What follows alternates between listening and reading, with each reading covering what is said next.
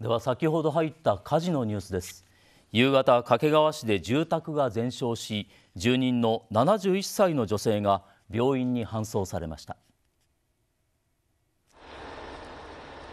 住宅の屋根から見える炎。煙も激しく立ち上っています。午後4時半ごろ掛川市上西郷の2階建て木造住宅で1階キッチンから出火したと近所の人から消防に通報がありました。火はおよそ1時間15分後に消し止められましたが火元の住宅が全焼しました。警察によりますとこの家に住む71歳の女性が煙を吸って病院に搬送されました。軽傷とみられています。